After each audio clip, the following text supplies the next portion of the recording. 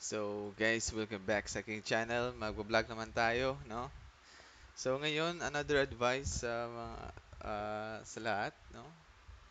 Ngayon, um, ano yung tanong, ano ba ang gagawin mo pag umuubo ka, no?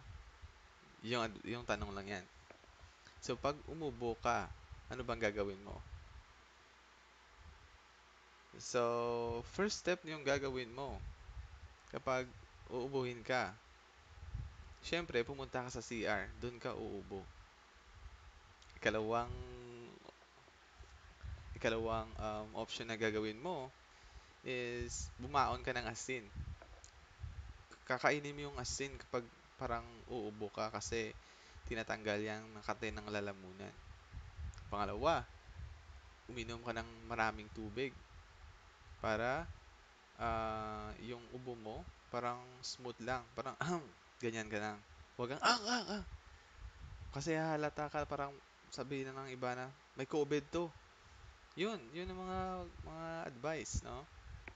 Ikalawang advice, pag uubo ka, hindi ka magpapakita sa lahat ng tao.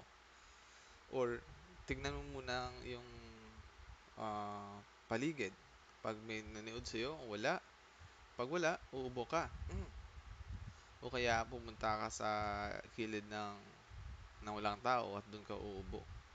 Kasi ngayon, pandemic, mahirap talaga. Kasi kapag makita ka nilang nag-uubo, nilalagnat, swab agad. Pag may PhilHealth ka, positive ka. Yun lang. So, kasi nangyari na to sa isa kong kaibigan eh.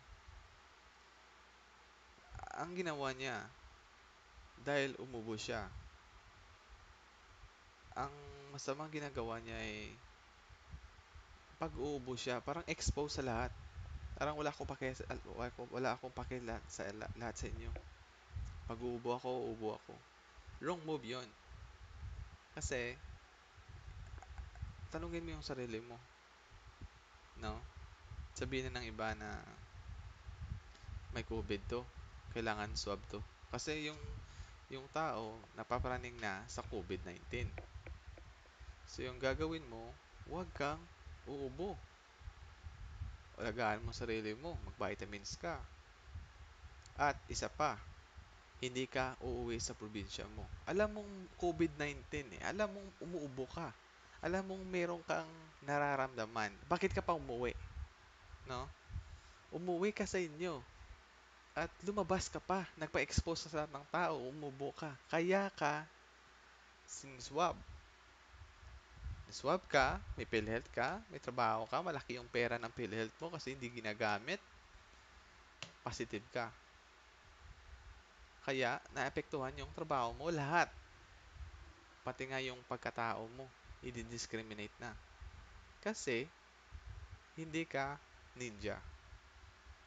So, salamat sa pag-nunood. So, next time, mga, mga dark advice, uh, comment lang kayo sa uh, message below. So, hanapan natin solution yan. Thanks for watching guys. Tips for COVID-19.